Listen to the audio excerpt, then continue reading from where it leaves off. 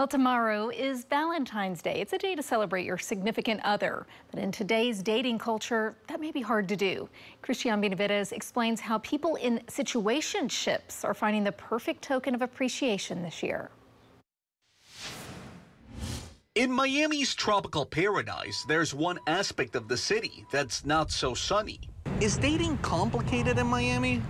Absolutely. Nobody really has a relationship. We have a situation. Meaning, not all relationships are clearly defined. Are you guys together? Um, I think so.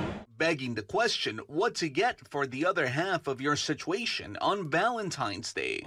Introducing Sweethearts Situationships. Sweethearts, the iconic heart shaped sugar candies, has a solution for confused singles everywhere.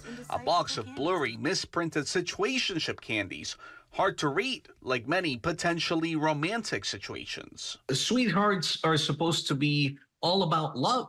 Are situationships all about love? I think anyone in a situationship is probably asking themselves that very same question. You know, is this a love? Is it a friendship? Evan Brock is the VP of Marketing for Spangler, the company behind Sweethearts. Sometimes we have a whole batch of them that are that end up just being a little bit misprinted. And when we heard about this new relationship term called the situationship, it was like the answer was right in front of us. Gen Zers may like the label. For others, it's hard to swallow.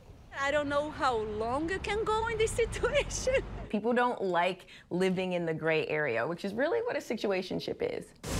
Matchmaker Devyn Simone, host of Match Me in Miami, says not all situationships are inherently bad. If you just want to have fun, then hey, situationship it up. Do your thing. The perfect gift for those asking, will you be mine? Sometimes. Cristian Benavides, CBS News, Miami. Very interesting. Yet another reason why I'm glad I'm married.